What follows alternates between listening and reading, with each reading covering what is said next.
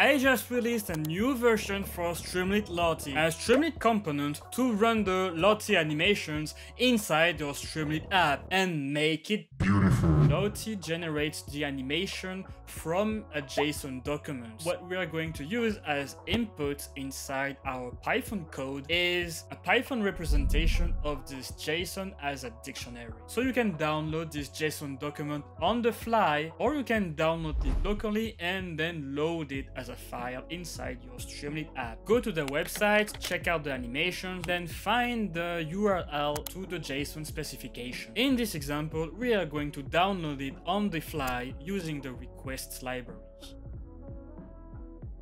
New version that I released, 003, comes with the new Streamlit Lottie Spinner, which acts as a Streamlit spinner, but using a Lottie animation instead. You define the JSON, you create a Streamlit Lottie Spinner context manager, and then you can use it to display uh, some cool animation while your long and expensive machine learning model is being trained. Why Lottie instead of GIFs? GIFs size. Lottie files are JSON documents that are being rendered on the fly by the browser, whereas GIFs are already fully rendered animations that are going to be way bigger than JSON strings. Quality, because you can decide on the resolution you want to render the Lottie animation. Customizable, because it's JSON, you can go inside the file and edit the colors or the position of different elements and you can actually use a website to edit the different layers of the animations.